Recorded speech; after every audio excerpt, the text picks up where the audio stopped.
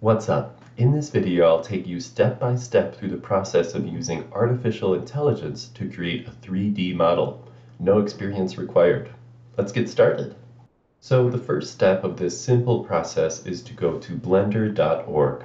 This is the platform where our 3D modeling program will be available for free and open source program. You don't have to worry about paying at all. You just go right to download and download Blender. This will start your installation package. I've already got it downloaded. This is the last step to get Blender on your computer. And then we go to OpenAI. This is where we find our language model tool called ChatGPT-3. So this is the OpenAI website. And look at this, introducing ChatGPT. Go ahead and click Try. This opens up another window where I already have an account. You can see our prompt window where we would type in and ask the AI for questions, and even previous conversations that I've had with the AI since I've got my saved account. I can go down here and clear conversations, but I'm saving them. Okay, so I've got Blender downloaded on my computer, got Blender open on the right, and ChatGPT open on the left. You can see when Blender opens, it gives us our default opening screen with a few different options. I'll just click off of this and if when I use the scroll wheel to pivot around my scene, I can see that there's a default cube, a default light, and a default camera. We don't actually need any of these items in the scene, so we could press A to select all of them, or box select. So A, and then X to delete. X. So now we've got nothing in our 3D viewport. Now we're going to go from our layout workspace over to our scripting workspace. And this will be where we can type in our code from ChatGPT.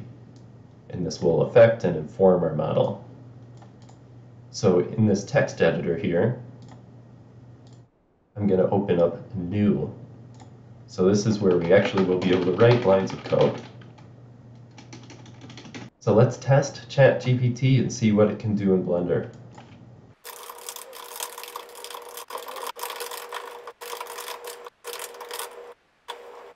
So a few things to note on my first comment. I wrote Blender Python here.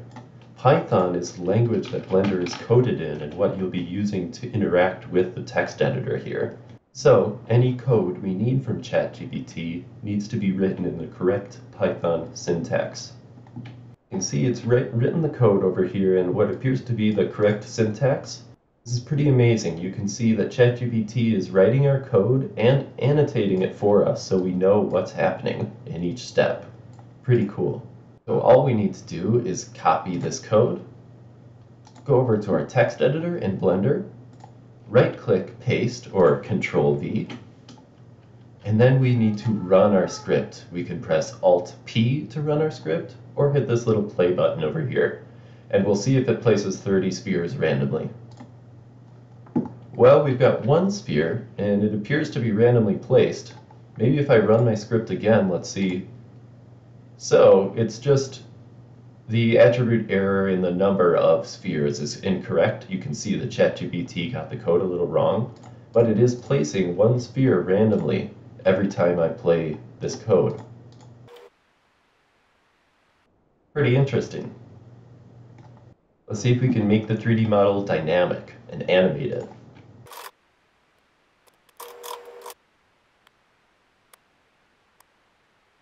See if we can animate our spheres to spin around the origin point of our scene.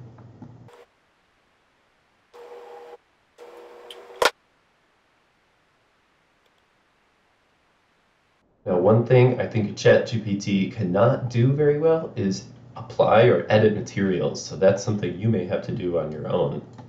If we were to go into our rendered view, for example, all of our cubes are the same exact material, so you would have to select a cube, and then go down to your materials, create a new material.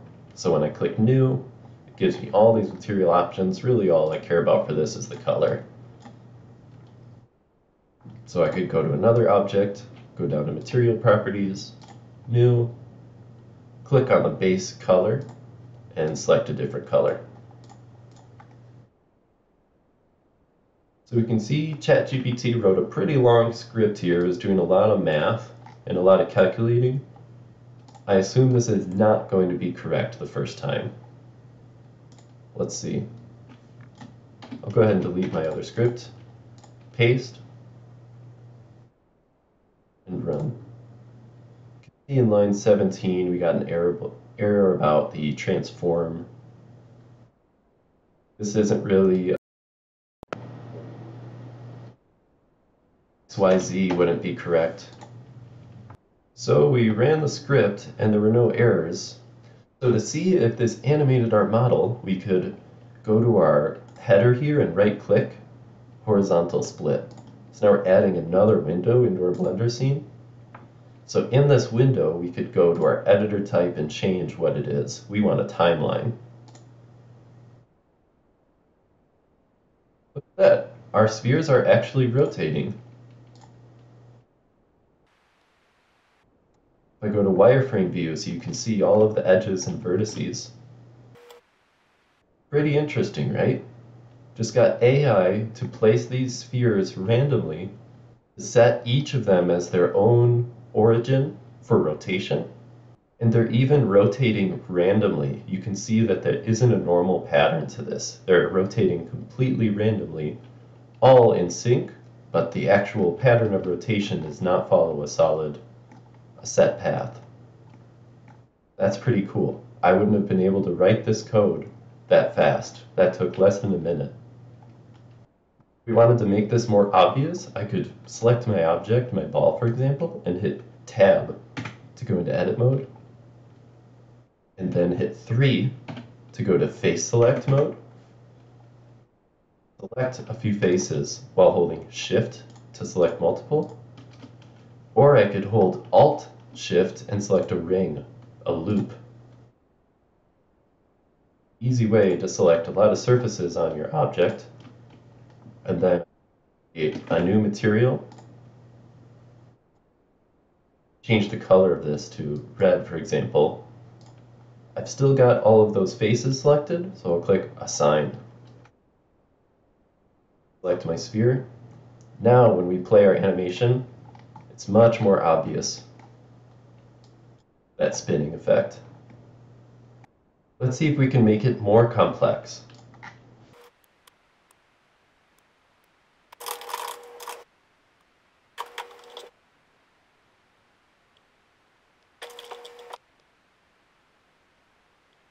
So ChatGPT's written in this set Euler rotation, which we actually don't need. I'll be deleting this out of the text again. So to break down a little bit what ChatGPT is doing for us, in Blender you import modules. So you import Blender Python and you import math. You could import random, etc. at the start of your script and it tells Python to reach into those depositories and find that data, work with that. So we've imported BPY, import math, and we're using that math, for example, down in calculating our rotation values and calculating the. Okay, let's see if we can go in and copy the code. I'll delete this other code first. Paste. And let's see if we get that error on line 17 again. Line 17, trace back error. So I'll just delete those two and run it again. Look at that, no error. Nice. So if I use the scroll wheel on my mouse to pivot around my scene, can see that the sphere is indeed moving in a circle. If I look directly down on my model, hitting 7 on the number pad, see that it's moving around in a circle and rotating randomly while that's happening. Pretty cool. I would not have been able to type this code as fast as ChatGPT did. It has got me beat. If I knew that I needed a simple animating object, I would always turn to ChatGPT to code it for me, as opposed to physically modeling it in the scene. So this might seem like nothing, this may not seem incredibly powerful, but what we've done here is not just create a 3D model, this is a data-rich object, which every parameter is being controlled by our script. We could go in and change everything about the movement, everything about the rotation, just by editing our script a little bit and messing around. If I went to change this to 8, for example, and ran my script, now looking at it from above, we can see that I've changed my radius from 10 width to 5 length. So it's going farther along our x-axis than our y-axis.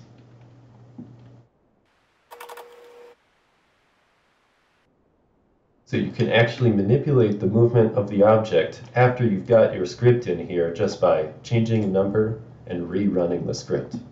Pretty cool.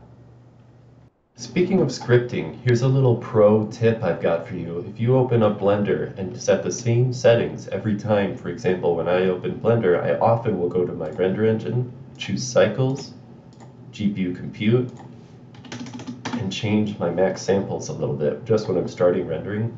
So you can see I've got all of these down here in the info panel. See if I click my panel control, info panel.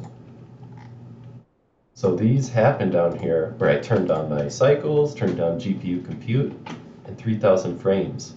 So I can select these lines of code, copy, go up into my text editor and paste.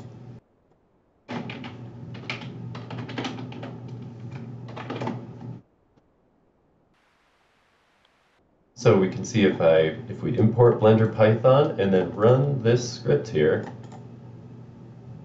I'll turn off my Eevee text run script, and it turned on cycles and GPU compute, set my samples. So this is a major time saver here. All we have to do is go to text, save as, and this saves as a text file that we can open up then. Text open, and this will start up our scene for us right away without having to click on any items at all. Major time saver. And that concludes today's tutorial. I hope you're enjoying this kind of content. If you are, be sure to let me know in the comments, subscribe to my channel, and check it regularly because I've got more coming on the horizon. See ya!